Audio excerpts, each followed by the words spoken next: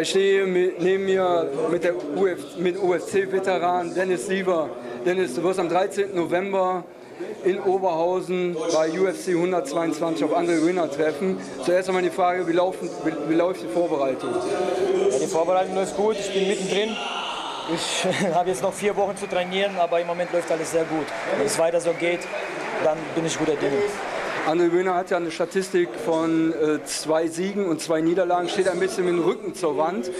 Siehst du ihn deshalb noch als besonders gefälscht, als er so schon ist als Kämpfer, dass er unbedingt auch diesen Kampf mehr als nur gewinnen wird, um ein Statement zu setzen?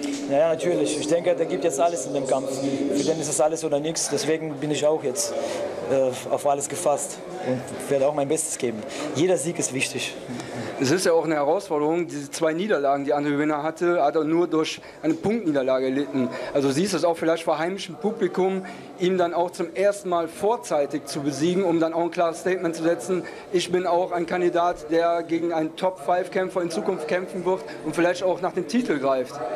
Ja gut, ich, plan, ich plane jetzt nicht, wie der Kampf ausgehen wird. Das ist immer schwer. Ich gehe einfach raus, kämpfe und dann sehen wir, was passiert. Natürlich würde ich ihn gern vorzeitig besiegen. Das wäre auch gut für mich. Aber wie gesagt, es ergibt sich einfach in dem Kampf. Und dann sehen wir weiter. Ich weiß, deine Ecke wartet schon auf dich. Dein Kollege wird jetzt gleich kämpfen.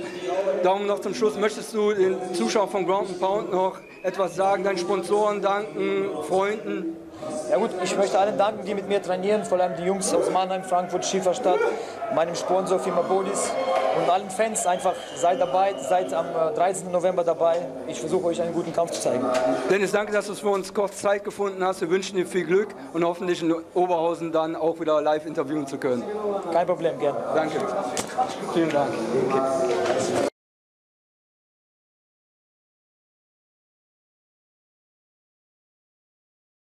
round and pound.